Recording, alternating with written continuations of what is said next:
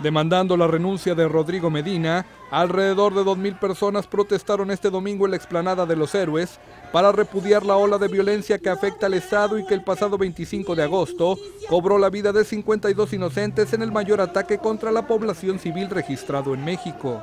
El evento convocado a través de las redes sociales por decenas de organismos civiles, entre ellos SILAC, Vertebra, Evolución Mexicana y Renace, para exigir un hasta aquí a la violencia, terminó convertido en un reclamo con algunos conatos de bronca ante la intervención de grupos que pedían también la renuncia del presidente Felipe Calderón. Y es que antes que el evento fuera formalmente iniciado por los organizadores, el grito de repudio surgió cerca de las 17 horas luego de que integrantes de la Asociación Civil Recuperemos México intentaron fijar en los muros del Palacio de Gobierno una manta donde pedían que el mandatario federal renuncie. Esta acción provocó la reprobación de la multitud de asistentes y fue impedida por algunos de los organizadores quienes retiraron el mensaje con el argumento de que la protesta no tenía fines políticos, aunque decenas de personas ya exhibían pancartas que exigían la renuncia del gobernador. En memoria de las víctimas del Casino Royal, los organizadores colocaron en las escalinatas de la sede del Ejecutivo Estatal calzado perteneciente a cada una de las víctimas, pidieron a todos los asistentes guardar un minuto de silencio, pasaron lista con los nombres de los fallecidos y entonaron el himno nacional.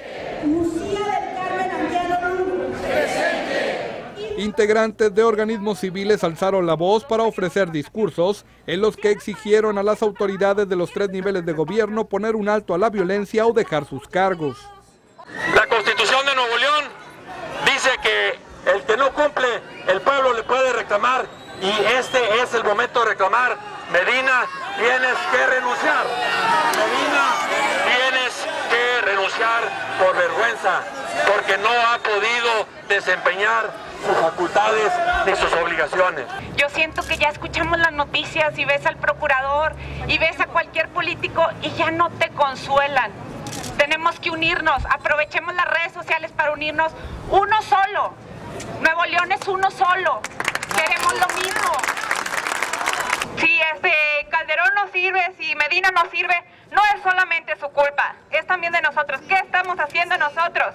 Hay que poner principios nosotros también en nuestras familias.